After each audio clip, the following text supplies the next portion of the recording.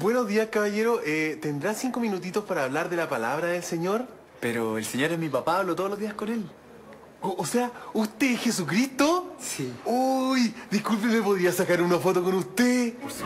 Oiga, sabe que yo usted lo sigo, pero de chiquitito, ¿cierto? Oiga, ¿y tiene Facebook?